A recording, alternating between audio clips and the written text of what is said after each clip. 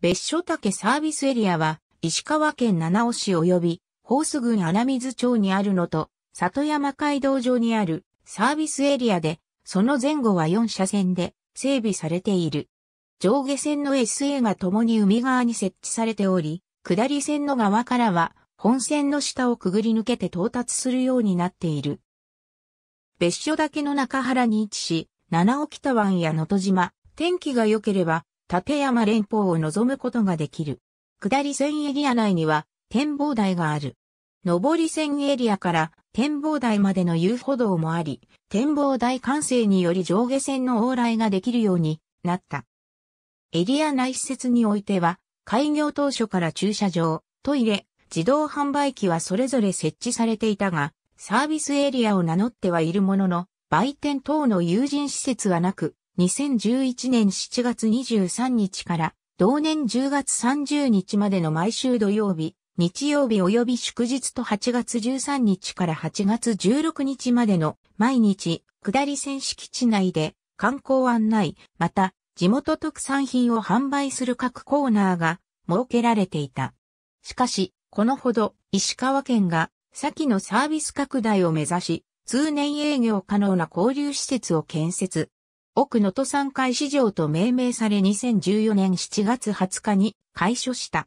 なお、北陸鉄道グループである北鉄奥能登バス運行の鈴特急及び鈴境で、津特急線のボリビンのトイレ休憩箇所として使用されている。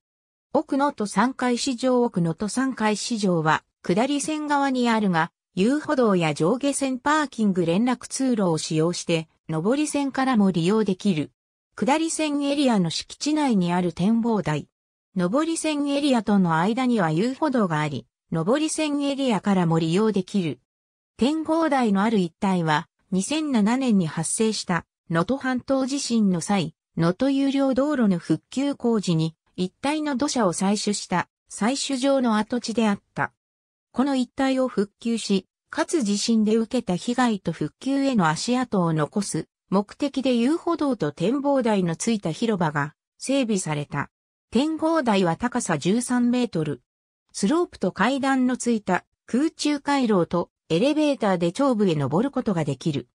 期間によって会場時間が異なり、毎年12月16日から翌年3月14日までは閉鎖される。入場無料。広場内には地震前の緑を再生すべく小奈良や山もみじなどが植えられている。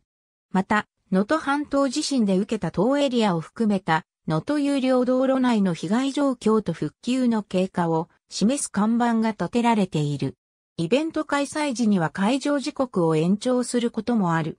2010年9月に月見のイベントが行われた際には21時まで延長した。ありがとうございます。